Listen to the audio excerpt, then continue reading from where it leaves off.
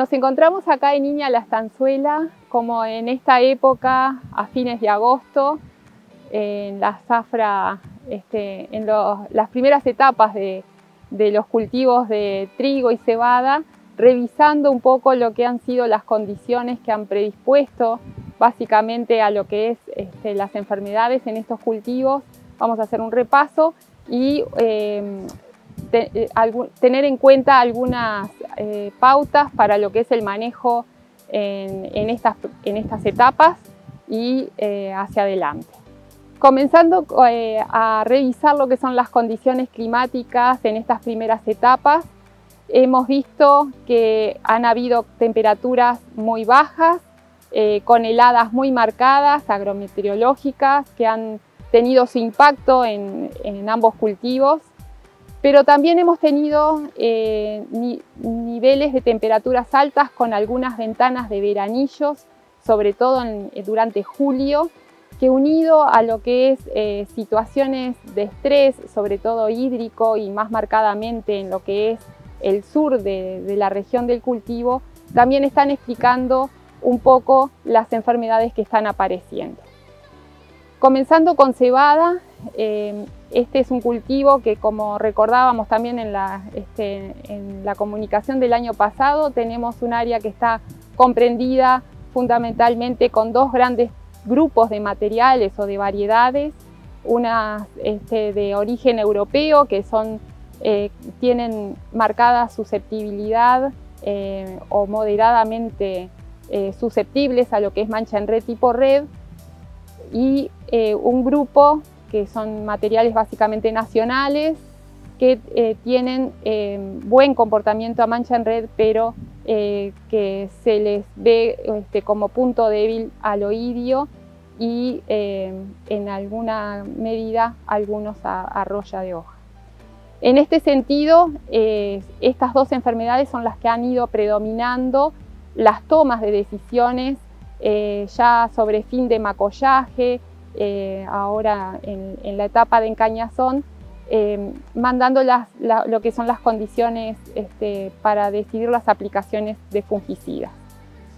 Eh, siempre se recomienda que los niveles a los cuales tenemos que llegar para decidir la aplicación de fungicida máxime si tenemos susceptibilidad a algunas de estas enfermedades y las condiciones están siendo predisponentes, se realicen en los primeros estadios de, de inicios de la epidemia, eh, en cualquiera de los dos casos, eh, tanto para mancha en red como para oidio, estamos hablando de em,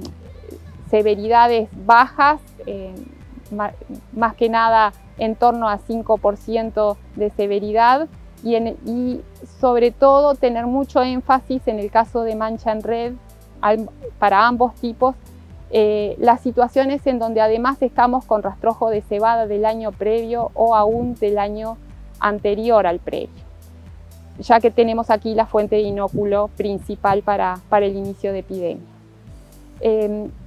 para cualquiera de las dos situaciones estamos recomendando em, los em, fungicidas que son mezclas, en lo posible mezclas de triazoles más estrovirulinas o mezclas de triazoles, estrovirulinas y carboxamidas deben ser utilizados siempre en un esquema en donde haya una alternancia de principios activos y tratando de, no repetirlo en el caso este, de, empezar con aplicaciones tempranas que sabemos probablemente por cómo además se está presentando la zafra necesitemos este, más adelante realizar alguna, sobre todo en los cultivares susceptibles. Sobre eh, la última década de, ahora, de agosto, ya se comenzó a detectar ramularia, eh, avanzando desde el norte, los reportes, este, el primer reporte fue realizado por la Clínica Vegetal en Paysandú, en cultivos del norte, pero ya la estamos viendo también aquí en el sur, eh, con casos positivos, y el mensaje que a dar es que justamente esta enfermedad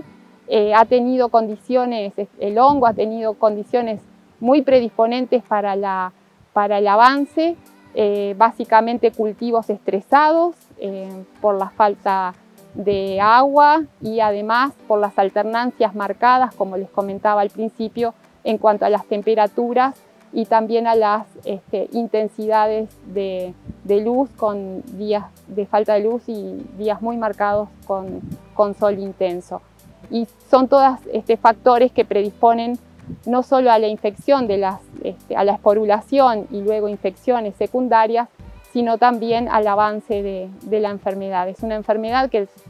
si estamos controlando mancha en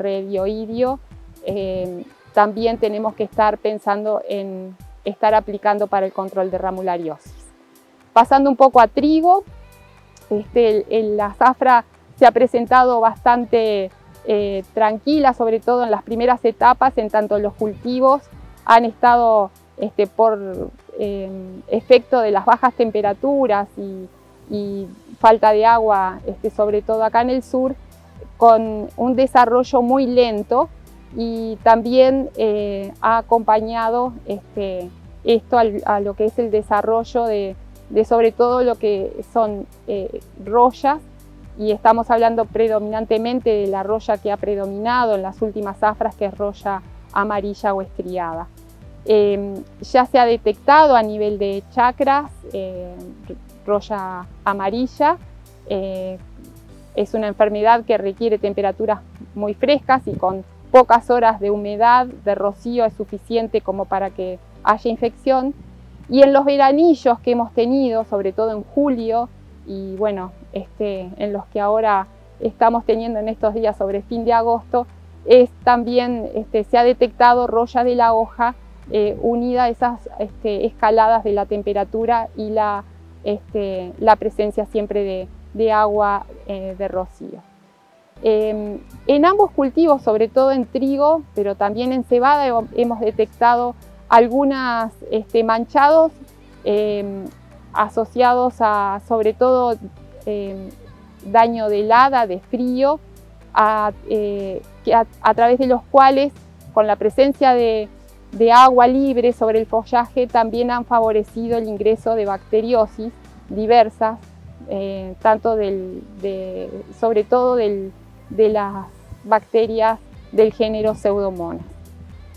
Así que este, un poco queríamos compartir esta situación y eh, en el caso de trigo, em, tener eh, presente eh, las aplicaciones que sean realizadas de nuevo con los productos recomendados y si las enfermedades a controlar son básicamente rollas, tenemos una, una gama aún más amplia de, con más eficiencias de control que en el caso de, otras manchas, este,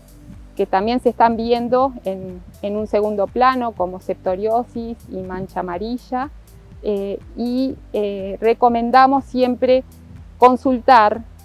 todas las cartillas que están disponibles en el sitio web de INIA, en la página, en el portal de INIA, en la carátula, tanto sobre el comportamiento de los cultivares así como también la actualización en cuanto a la eficiencia de los distintos fungicidas que tenemos nosotros probados, al menos por dos años o más, en cuanto a cada una de las enfermedades en ambos cultivos. Siempre tenemos que estar eh, estableciendo eh, la, decisión en base a lo que es los niveles de, la enfermedad, eh, con, con excepción de ramularia, en el resto de las enfermedades foliares eh, cuando estamos viendo las primeras síntomas,